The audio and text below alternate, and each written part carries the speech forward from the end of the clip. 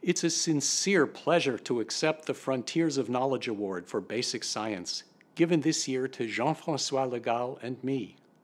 Professor Le Gall has given an excellent non-technical description of his scientific work and mine.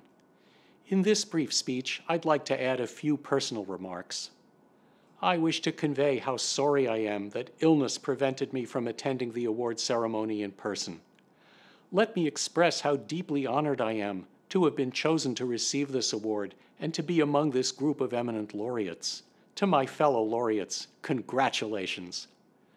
I thank the BBVA Foundation for establishing this highly prestigious award, acknowledging the work of those who strive to advance knowledge and create beauty for the benefit of the entire world.